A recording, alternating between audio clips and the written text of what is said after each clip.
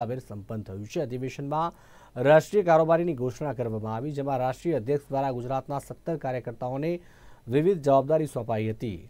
શિક્ષણ તથા સમાજને લગતા પાંચ પ્રસ્તાવ પારિત કરવામાં આવ્યા હતા.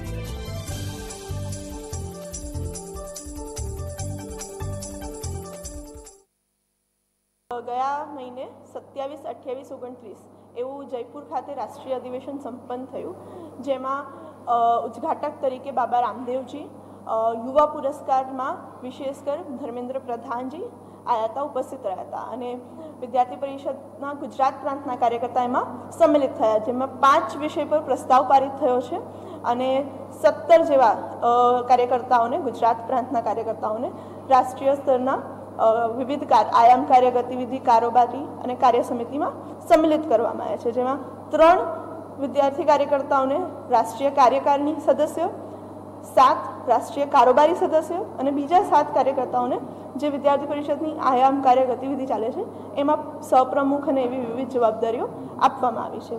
આવનારા સમયમાં છ, સાત, આઠ જાન્યુઆરીના વિદ્યાર્થી પરિષદ ગુજરાત પ્રાંતનું અધિવેશન ભાવનગર ખાતે થવા જઈ રહ્યું છે. જેમાં ગુજરાતના ખૂણે ખૂણેથી વિદ્યાર્થી પરિષદના કાર્યકર્તા સંમેલિત થશે અને એ અધિવેશનમાં વિવિશ- વિવિધ ક્ષેત્રમાં પ્રસ્તાવ પારિત કરવામાં આવશે, વિવિધ વિવિધ વિષયો પર ચર્ચા કરવામાં આવશે.